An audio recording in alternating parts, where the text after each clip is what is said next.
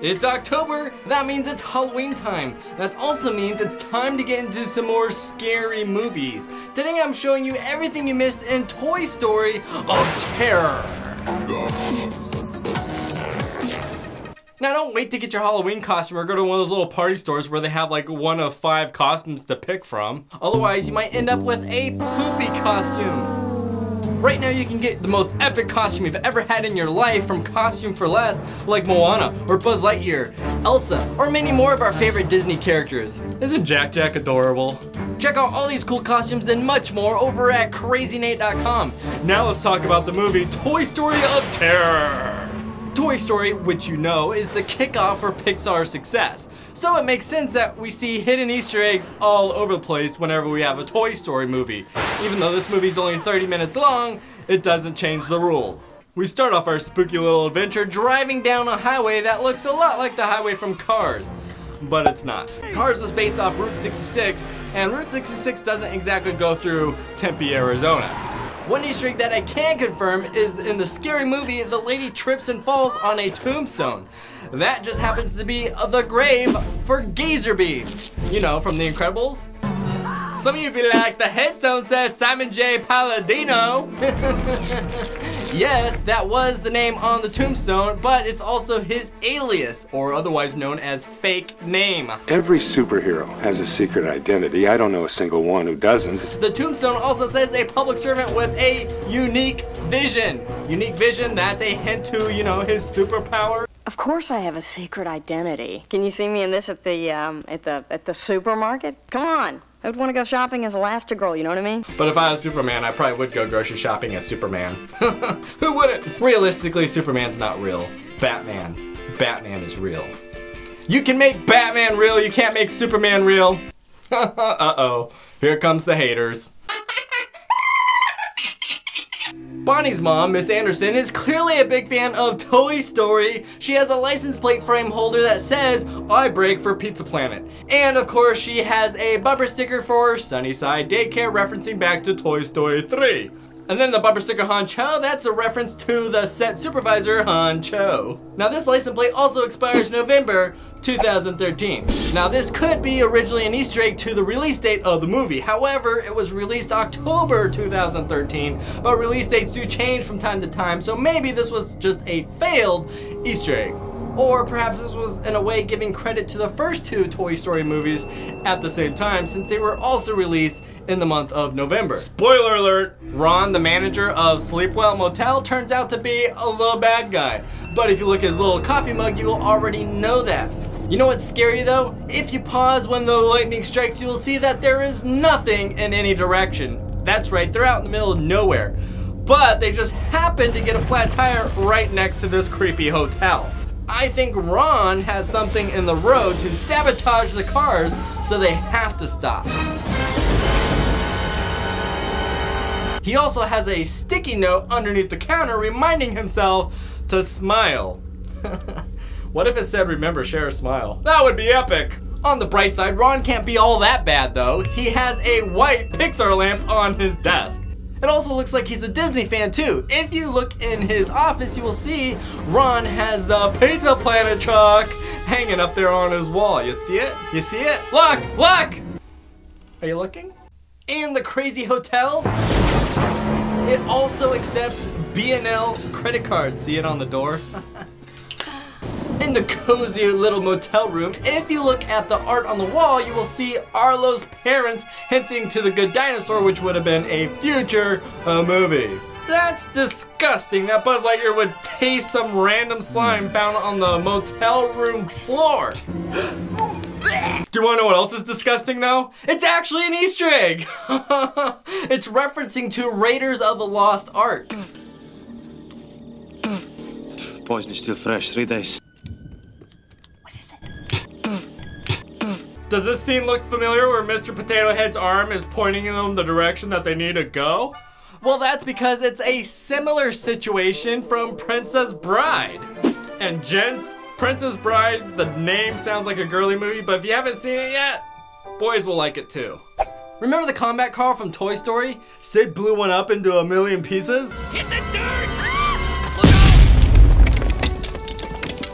Are you Combat Carl? Well, here's another Combat Carl, and he plays a vital role in helping Jessie discover her inner confidence once again. Combat Carl is voiced by Carl Weathers, who also plays as Chubbs in Happy Gilmore. That's not all we see here though. If you look closely, you will notice they are both missing their right hand. And they both just happen to lose their hand to a green monster. My hand! Under the sink in the bathroom, we can see the sink was made by Pixar. See the little Luxo ball stamp? Now we can't forget about Bonnie. She's literally wearing Easter eggs. She still has the same necklace from Toy Story 3. And check out that shirt. That's DJ Blue Jay from the Toy Story tunes Small Fry. DJ Blue Jay is also on her bottle inside the luggage bag.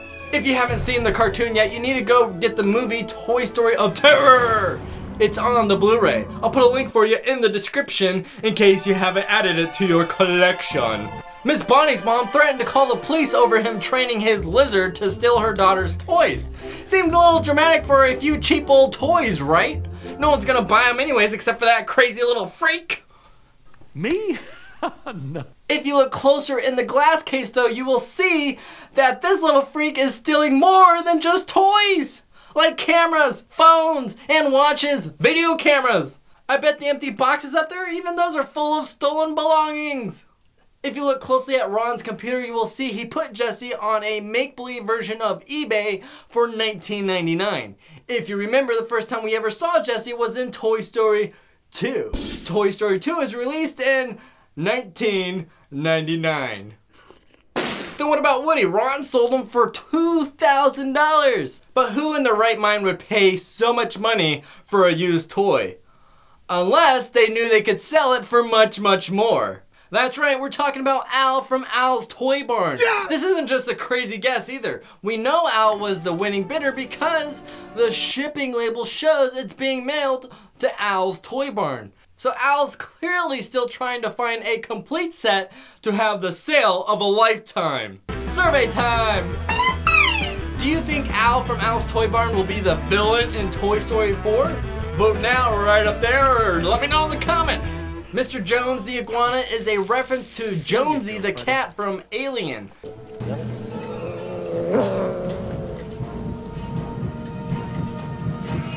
Another little Easter egg we can see on the shipping tag is 1195. We know Pixar likes to advertise that date because that's when their very first movie came out, Toy Story.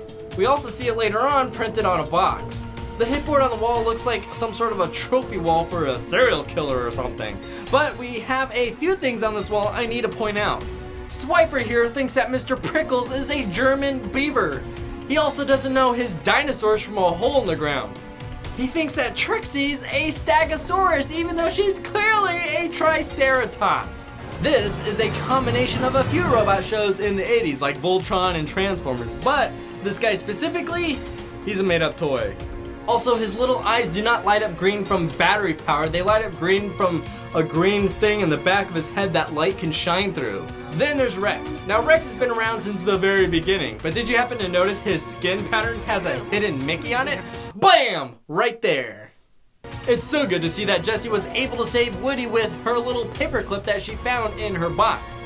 But one thing that doesn't really line up though is Woody had a paperclip in his box as well, and he's been creative enough in the past to get out of tough situations. Sassafras! So it seems like he'd be able to figure out this little escape on his own. Now a lot of you are new to my channel so I want to take a second and say hello! Welcome to Crazy Nate, I'm glad you stopped by. On these videos I hide several easter eggs, typically there are five. So here's the five easter eggs I hid in this video.